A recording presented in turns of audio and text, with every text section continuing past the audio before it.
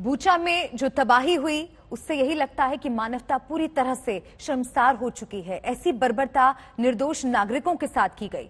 Bucha को रूसी सैनिकों ने मौत का टीला बना दिया है, लेकिन ऐसा नहीं है कि बाकी शहरों पर रूस मेहरबान रहा है। यूक्रेन के कई शहरों पर कहर बनकर टूट पड़ा है रूस। शहर के शहर खंडर हो गए हैं।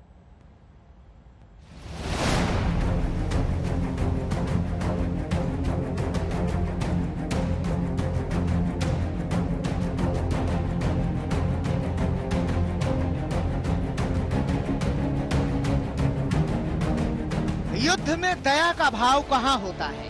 अगर होता तो होस्टोमेल की सड़कों पर अधजले शवों का अंबार नहीं होता।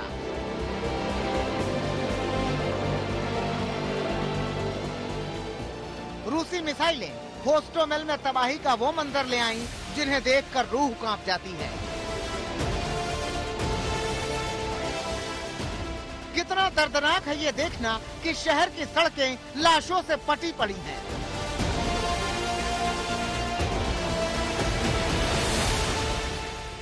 बीतते वक्त के साथ रूस और ज़्यादा खतरनाक होता जा रहा है।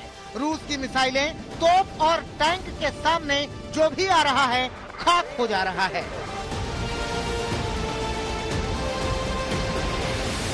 होस्टोमिल में जिस तरह से रूस ने बर्बादी बरपाई है, बिल्कुल वैसा ही खारकीव में किया है। खारकीव के एम्यूजमेंट पार्क में रूसी हमले की भयानक तस्वीरें सामने आई हैं। बताया जा रहा है कि खारकीव के स्लोबिडस्की में रूसी हमले में सात लोगों की मौत हुई है, जबकि तीस से ज़्यादा लोग यहाँ जख्मी हुए हैं।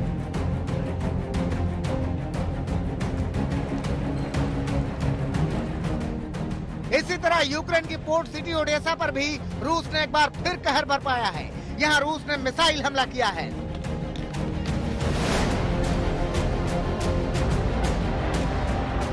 ओडेसा के पोल्टावा इलाके में तेल रिफाइनरी पर हुए हमले के बाद भीषण आग लगी। रूस ने दावा किया है कि उसने ओडेसा में यूक्रेन के तीन तेल स्टोरेज को तबाह कर दिया। बताया जा रहा है कि यहीं से निकोलीव में यूक्रेन की फौज को मदद दी जा रही थी। रूस पूरी ताकत से यूक्रेन को घुटने टेकने पर मजबूर कर रहा है, मगर यूक्रेन भी डट कर खड़ा है। चरनीहीव में सड़कों पर यूक्रेनी टैंकर देखने को मिले। लोगों ने चरनीहीव में यूक्रेनी सेना का अभिवादन किया और उनका उत्साहवर्धन किया। रूस और यूक्रेन के युद्ध का परिणाम क्या होगा, ये तो समय बताएगा, मगर इतना ज़रूर है कि फ़िलहाल इस युद्ध से तबाही बढ़ती जा रही है। बूचा से गौरव सावंत और कीव से राजेश पवार के साथ आज तक ब्यूरो।